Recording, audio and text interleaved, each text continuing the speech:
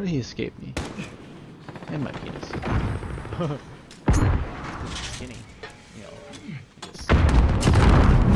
Holy Dude, oh, shit! Dude, oh, body just flew out of that building. you That's like cool. that? That was awesome.